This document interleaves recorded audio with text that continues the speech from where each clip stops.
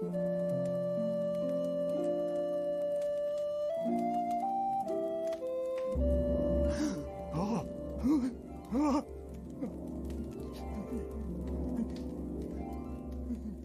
tengáis miedo, porque os traigo una buena noticia que será motivo de gran alegría para todos.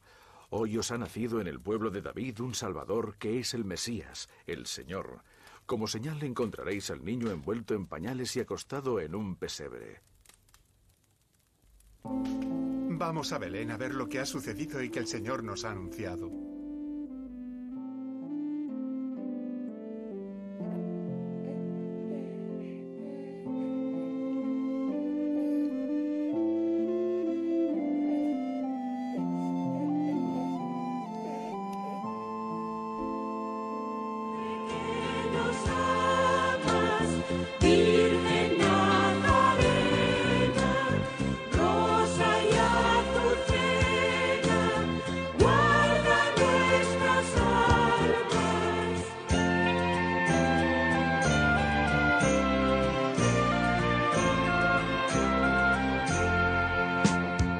deja.